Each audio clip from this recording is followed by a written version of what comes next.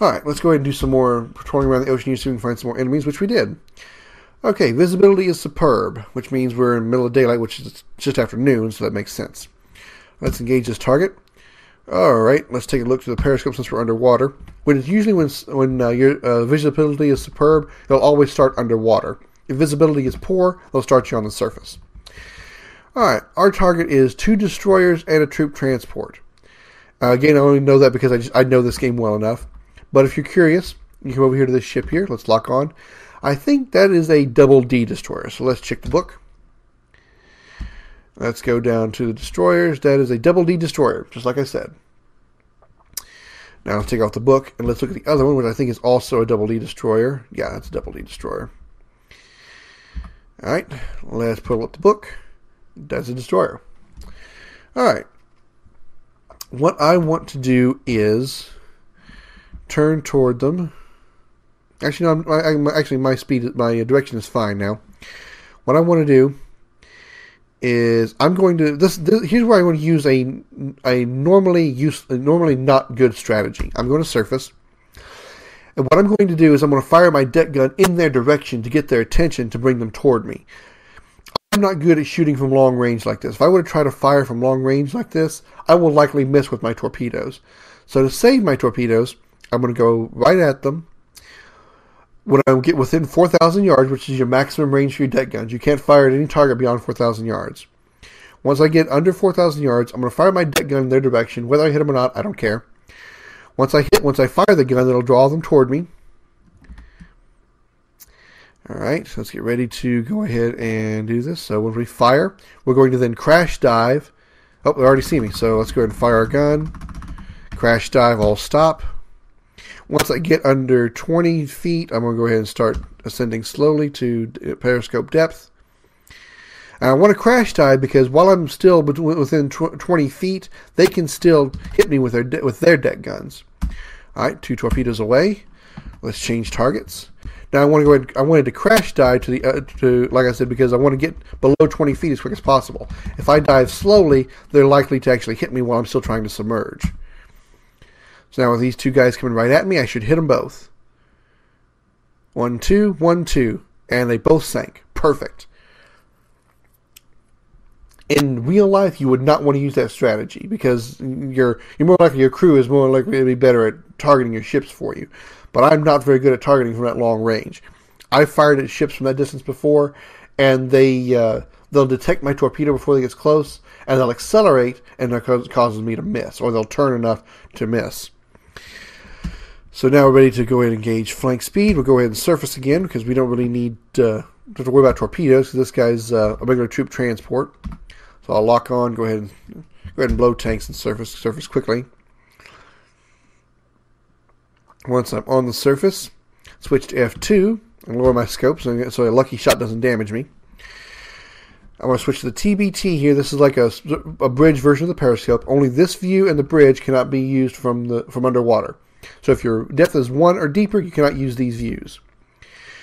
Alright, let's fire. I use plus and minus to adjust my deck gun, as you see at the top of the screen here. The deck gun is at minus 3, and it splashed, so it means I missed. Let's try, let's try minus 1. Alright, we hit it dead on. You see that, that explosion right there? It means we hit it. So we're at a perfect angle. We're going to keep firing with the space bar. Basically, we're doing minimal damage to it, but we are hitting it, and we can and we are dealing damage. once we get within about a thousand yards, I want to change my gun to plus zero because then I don't want to miss. Because now I'm getting really close to him because you can see he's getting bigger. There's the bridge here. And you see a good broadside view of the ship. These are accurate um, pictures of these ships. This is a troop transport. This is what an actual troop transport looks like or looked like during World War II. So again, points for detail for the accuracy of these games as far as the as far as the graphics is concerned. That's actually very accurate. All right, he's at course 182, so I'm gonna turn to I'm gonna turn due south with him. He's about to come to a stop, so I'm gonna slow down to a slow speed. Now it doesn't matter, he's dead. When he's on fire like that, he'll likely do what he just did there is explode. Any ship can do that.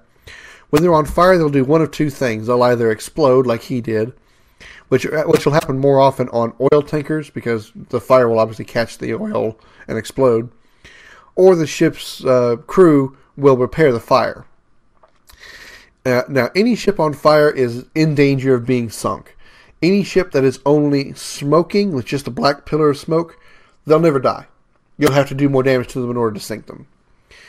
All right, let's keep on going. I usually like like you saw in the situation. I didn't use any torpedoes against the troop ship. I like doing that under normal circumstances because it saves my torpedoes for large targets like this. And let's hope that we have another big target with lots of. Nope, we did not. We didn't get lots of carriers or anything. What we got was a troop ship. This time, instead of a medium target, it's a large target, and here's why. That's a full ship.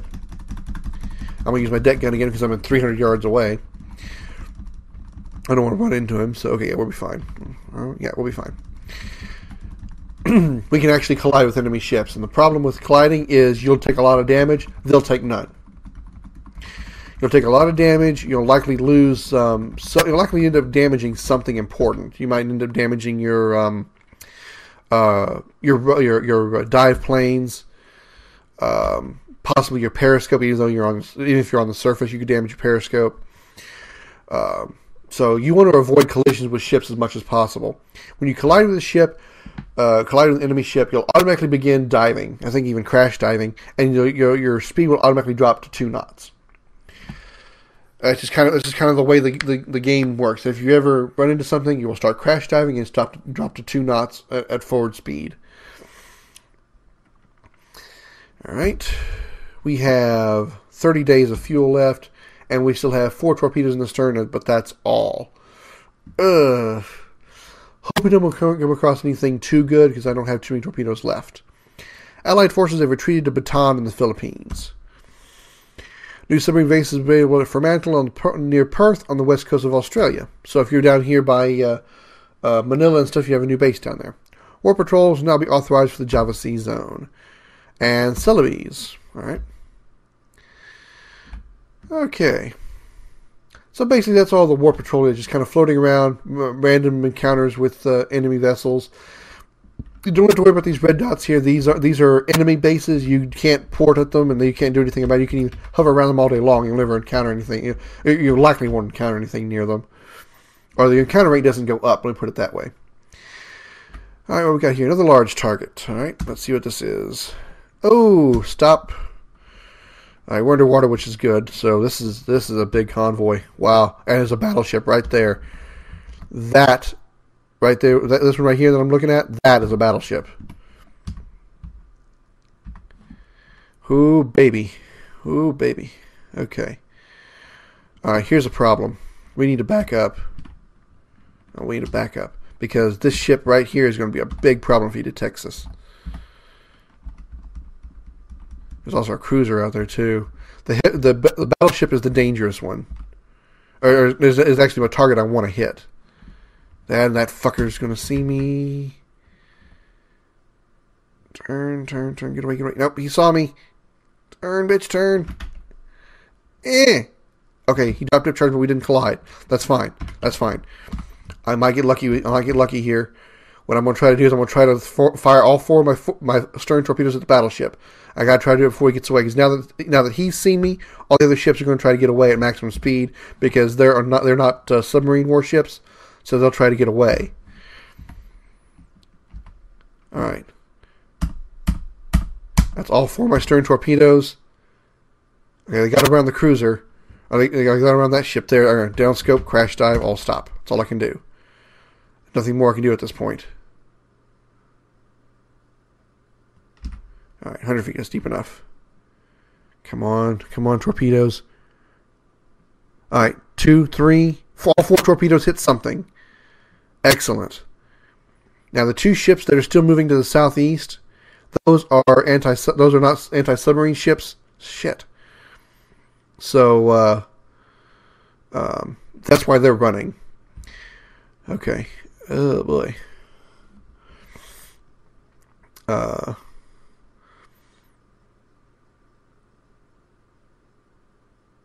Okay, go. There's nothing I can do at this point. I can't. I'm not going to be able to shoot these guys. There are way too many uh, anti-submarine ships out here for me to handle, especially since I have no torpedoes left. So all I can do is try to run. I'll stop.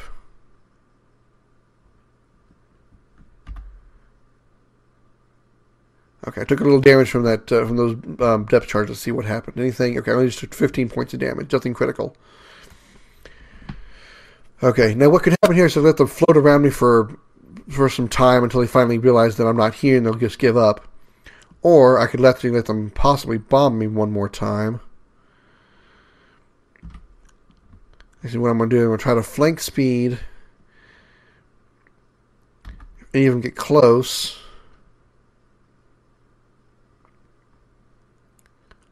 Alright. That was going to catch me, so let's stop there. And let's do this. Let's see what happens if I launch the debris now. Maybe they won't. Maybe they'll, maybe they'll think I am dead. I think it worked. Yeah, they're not turning back. Yeah, they think they, they think I'm dead. They're retreating or they're they're falling back. They they think I'm dead. Okay, which which is fine. There's nothing I can do. There's no way I can take on four destroyers without torpedoes. Those are the, those are the kind of vessels I will not engage with my deck gun alone. I really, really hope that I got that, that, that battleship at least. I really hope that battleship sunk. If that battleship is only damaged, I'm going to be. I'm going to be. As a battleship is another ship I don't want to take on on the surface.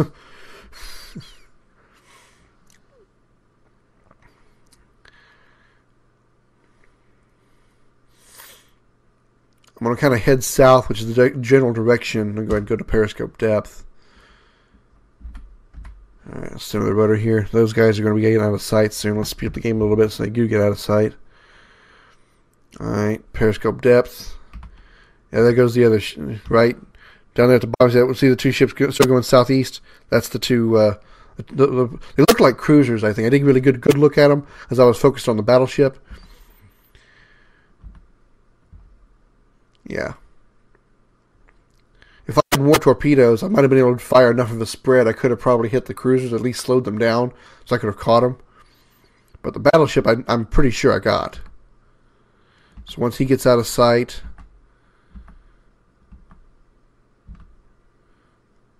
which usually usually they're out of sight once they're beyond the. There we go. F8 in this battle. Yes, it's retreat because that's all I could do. I got the I got the battleship. Thirty another thirty four thousand tons. So again, those uh, battleships are good. Three, yeah, light cru- yeah, the light cruisers are also uh, anti-submarine ships. So the two, the two that escaped, the two that were immediately moving southeast, those were the heavy cruisers. Heavy cruisers do not take on submarines in this game. Uh, light cruiser and the three destroyers, they do. That's why there are four ships surrounding me. But at least I managed to take down the battleship, which is good. Unfortunately, it was only a BB battleship. Now, say unfortunately there because BBs are actually the small battleships. the BBHs are the super battleships. Those are the larger ones. Those are worth a lot more than 30,000 tons. But that's okay. We still did really good on this run. We're out of torpedoes. There's nothing more for me to do here. I'm even though I got like a month left of fuel, I got two weeks left of fuel. I'm gonna head back to Pearl Harbor now.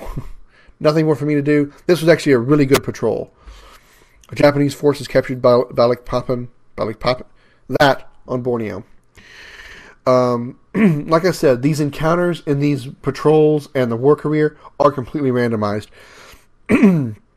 There's been times where I've gone out on a patrol and not encountered anything. There's been times I've gone out on patrol and only encountered small small targets or medium targets. Um, those golden targets that I like to call the the heavy the high value targets, crew uh, heavy um, carriers and battleships. Those are extremely rare to come across. Um, I've had um, patrols and war careers where I never encountered any of those. Um, so if, if, you get this game, don't guarantee you'll see the same encounters that I did because you won't. They're completely randomized as far as where you'll find them and what the fleets will be. All right, let's keep heading to Pearl Harbor. And let's dock. Anyone report? Yes and you'll see this and battle flags. If you get if you did a good job, you get you'll get the little the strip with the little Japanese flags on them. Those are called battle flags. That means you did a good job. Usually, like I said, if you score probably like five thousand tons or more, you're likely to you're likely to get battle flags. Um, if you don't get battle flags, that means you didn't do a very good job. That means you did actually a very poor job. All right, I got 128,000 tons on this patrol and scored 1,100 points. And for that, I got a silver star because I probably scored over 100,000 points. I think 100,000 is the first um, tier, or is a minimum tier to get a silver star. If you score below 100,000, you'll get a BSV, Bronze Star for Valor. But anything above 100,000, you'll get a silver star. So that was actually a really good patrol. Okay, and that's it. That's how the patrol works. Now, if you were to do a war career, once you accept your medal, you would actually get an option to repair your submarine, get a new submarine, or go right back out to duty. Which all that would happen there is your uh, your ship would kind of get like a, a small repair, like a, brief repair. If you had any major parts broken, they would probably get repaired. Um, if you pick a new submarine, you'd obviously get a new submarine. Um, you you would get refilled, you know, reloaded on torpedoes and uh, you would go back out for another war patrol. That's just how that works. Um, since I picked a single war patrol, you just go out once, come right back. So war, war career is you go out, come back to port over and over and over again. So that's how that works. So Bonefish got uh, Silver Star, and that's the uh, single war patrol. All right, so we'll go back to the main screen here. And what I'm going to do now is I want to show, since those are randomized, I'm actually going to show now the single battles the single battles are actually specific scenarios, at least the top one, two, three, four, five, six, seven, eight. Those top eight are scenarios where the shipping, the fleets, and the submarine you use are going to be the same every time.